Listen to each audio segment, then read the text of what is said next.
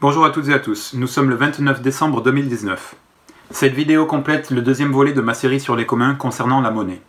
Dans cette précédente vidéo, je proposais de diviser les communs moyens d'échange ou monnaie en trois catégories. La monnaie locale, la monnaie nationale et la monnaie internationale.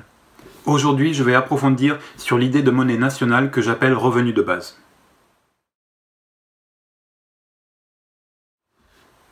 D'abord, il me faut expliquer les différences entre monnaie nationale ou revenu de base et monnaie internationale. La monnaie nationale ou revenu de base est une sorte de monnaie locale, mais à l'échelle du pays. Une monnaie locale sert à privilégier le tissu socio-économique immédiatement environnant, c'est-à-dire la production et consommation locale. La nation reste un environnement local dans une économie mondialisée. Donc la monnaie nationale a la même fonction que la monnaie locale, mais à l'échelle du pays, celle de favoriser la production domestique car la monnaie nationale ou revenu de base n'est pas convertible en d'autres devises et donc ne peut être utilisée que dans le cadre de la nation. D'où son nom, la monnaie nationale. La monnaie internationale correspond quant à elle à l'idée que nous nous faisons aujourd'hui de la monnaie, telle que l'euro par exemple. Les trois différences fondamentales entre la monnaie nationale et la monnaie internationale sont Premièrement, seule la monnaie type euro ou franc est convertible en d'autres devises. C'est pourquoi je l'appelle la monnaie internationale. La deuxième différence, c'est que la monnaie dite internationale se gagne par une activité rémunérée comme aujourd'hui. Et la troisième différence fondamentale, c'est que c'est avec cette monnaie internationale que nous achetons les produits importés. Ces explications posées, je rentre maintenant dans la monnaie nationale ou revenu de base.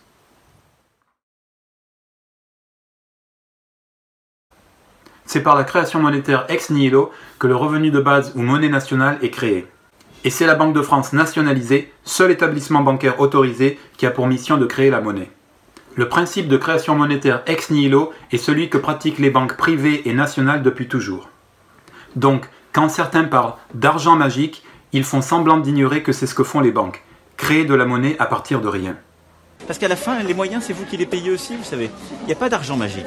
Certes, il s'agit pour les banques de financer une création de richesse future par la consommation. C'est ce que fait le revenu de base, puisqu'il permet aux Français de consommer ce dont ils ont besoin. Consommation qui crée de la richesse. Si l'on raisonne encore en ces termes, qu'il faut pourtant dépasser d'après moi.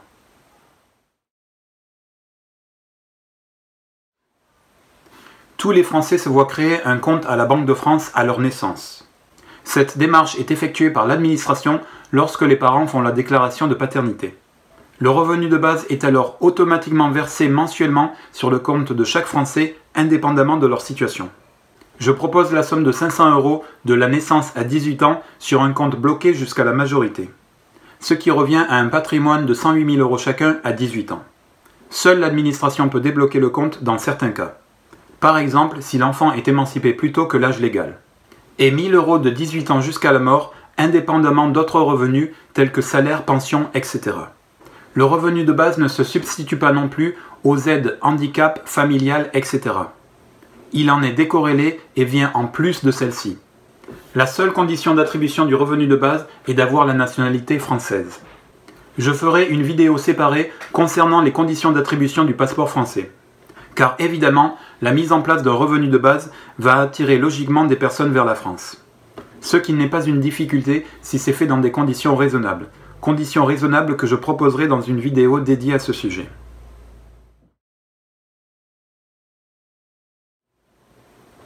Ici, j'aborde le point le plus important de ce concept. Le revenu de base a pour principe de reconnaître la vie en tant que valeur intrinsèque, contrairement à la situation présente qui oblige à travailler pour mériter de vivre. On dit bien gagner sa vie. Mais la vie n'a pas à être gagnée. Vivre est un droit à partir du moment où l'on est. Et pour vivre, il faut consommer eau, nourriture, logement, soins, etc. C'est le concept de proto-liberté que je développais dans la vidéo ici. Contribuer à la société ne vient que dans un deuxième temps. Nous sommes avant tout des êtres de besoin, puis seulement après des créateurs potentiels de richesse. Je parle ici de notre dimension matérielle, au niveau spirituel c'est différent, mais je laisse cela de côté pour le moment. Sans l'assouvissement des besoins de base, pas de vie, pas de liberté. Ainsi donc, le revenu de base répond à la condition sine qua non de la proto-liberté. Pour être libre, il faut d'abord et avant tout vivre. Pour vivre, il faut assouvir ses besoins naturels. Le revenu de base est l'une des garanties fondamentales de la liberté, puisqu'il nous permet de nous procurer ses besoins de base. Sans le revenu de base, nous sommes dans la servilité. Servilité à l'emploi, au travail, à la production. Non, vivre est un droit. Le revenu de base qui reconnaît ce droit est un changement de paradigme de la société. Vivre ne dépend pas du travail ou de quoi que ce soit d'autre. Sinon, c'est conditionner le droit de vivre à quelque chose. C'est inacceptable dans une société qui se veut mature, sage et humaine.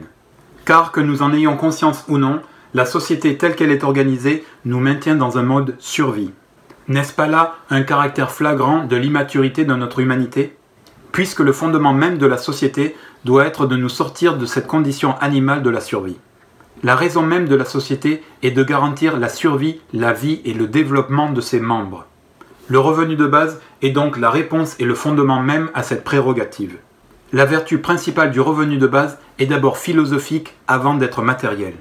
C'est celle de reconnaître la vie comme valeur suffisante, comme valeur en soi. Et puisque nous sommes des êtres biologiques, nous avons des besoins naturels. Boire, manger, se loger, se soigner, etc.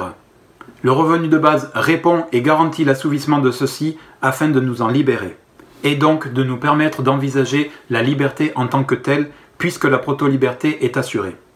Ainsi donc, le revenu de base est directement lié à la notion de liberté. Pas de revenu de base égale mode survie égale absence de proto-liberté et in fine de la liberté elle-même. Sur cette explication du lien entre liberté et revenu de base s'achève cette vidéo. Je la compléterai par de plus petits modules qui donneront une compréhension plus large du système dans lequel le revenu de base s'inscrit. Comme d'habitude, vos commentaires respectueux sont les bienvenus et comme toujours, je termine par le triptyque de notre beau pays, liberté, égalité, fraternité, vive la France.